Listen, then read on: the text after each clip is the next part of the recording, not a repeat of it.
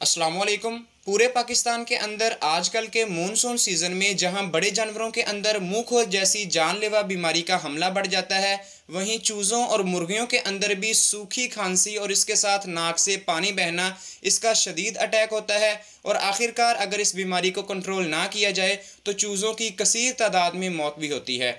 तो आज की इस वीडियो के अंदर आपको इस बीमारी के मुकम्मल अलामत, इसका इलाज आपने कैसे करना है? और अगर आपके फार्म पर यह बीमारी का अटैक अभी नहीं है बारिशों के सीज़न शुरू हो रहे हैं। तो एहतियाती तदाबीर के तौर पर कौन कौन सी आप मेडिसिन चलाएँ अपने फार्म पर, जिससे इन आपका फार्म इन तमाम बीमारियों से महफूज रहे।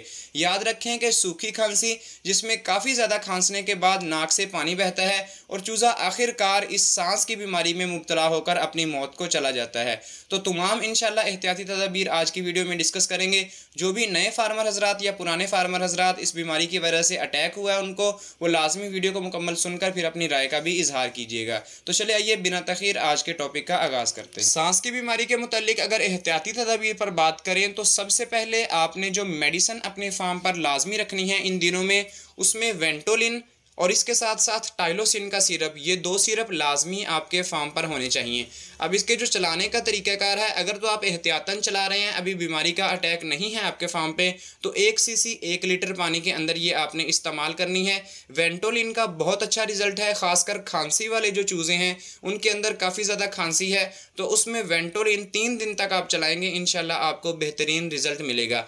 और इसके साथ साथ जो टाइलोसिन है, अगर आपके फार्म पर अटैक हुआ है, किसी किस्म का कोई सांस का मसला आपको नज़र आ रहा है, चूज़ा मुँह खोल के सांस ले रहा है या सांस लेने में उसको दुश्वारी हो रही है और इसके साथ साथ सांस लेता है तो उसको सीटी की आवाज़ आपको सुनती है और दीवार के साथ लग के या किसी भी फार्म की एक साइड पर लग के वो कोशिश करता है मुँह खोल खोल के ज़ोर ज़ोर से सांस लेने।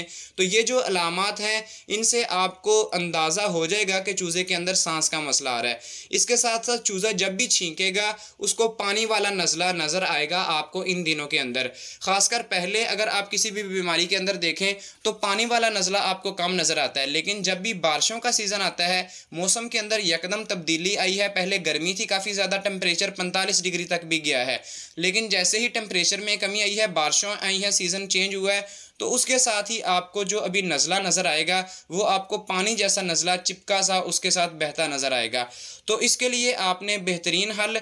कोशिश कर लें कि अभी से ही आपने हर हफ़्ते के अंदर दो दफ़ा जो लहसन और अदरक वाला फार्मूला है, उसको मिक्स करके फ़ीड के अंदर शामिल करें या आप पानी के अंदर शामिल करें, उसका पानी निकाल के। तो ये लाजमी अपने फार्म के अंदर रूटीन बना लें आजकल के सीज़न के अंदर। इन इनके इस्तेमाल से आपके फार्म पर बीमारी का हमला नहीं आएगा। ख़ासतौर पर सांस की बीमारियों के अंदर इनका बहुत ही अच्छा रिज़ल्ट है। इसके साथ साथ स्पोर्टिव थेरेपी में अगर हम बात करें, क्योंकि सांस की बीमारी के लिए तो बेहतरीन यही दो सिरप हैं। अब अगर फार्म पे अटैक आ गया तो साथ आपने कुछ एंटीबायोटिक्स भी चलानी होती हैं, कुछ मल्टीवाइटामिन भी चलाने हैं तो उसमें आप सस्ता तरीन जो है, वो पेनाडोल का सिरप है, जो कि बुखार के लिए इस्तेमाल होता है, वो आप ले आएँ एक सी सी एक लीटर पानी के अंदर। और इसके साथ साथ जो पाउडर मैंने आपको बताया था कि वाइटासोल सुपर या वाइटासोल गोल्ड ये आपको पाउडर मिल जाएगा। इसमें तमाम वाइटामिन जो हैं वो शामिल हैं। ये पाउडर आपने एक ढक्कन एक ड्रिंकर के अंदर डालना है और हर रोज़ भी अगर चलाएँ तो इसका कोई नुकसान नहीं है। तो इसके चलाने से चूज़ों के अंदर ताकत आएगी वाइटामिन की कमी पूरी होगी एंटीबायोटिक्स लगाने से उसको इनशाला बेहतरी आएगी और टाइलोसिन और वेंटोलिन का सिरप चलाएँगे तो इनशाला सांस की बीमारियों से भी निजात मिलेगी। तो जो छोटी सी अपडेट थी आजकल के सीज़न के हवाला से, चूज़ों की काफ़ी तादाद में मौत हो रही है सिर्फ़ नज़ला और इस खांसी की वजह से। तो इसमें अगर आप अपने चूज़ों को बचाएँगे तो इन यही आपके लिए एक मुनाफा बख्श फ़ार्मिंग का समा बनेगा। तो आज की वीडियो के अंदर जो छोटी सी अपडेट शेयर की है, सांस वाली बीमारी के मतलब उम्मीद करते हैं कि इससे आप दोस्तों को फ़ायदा हुआ होगा।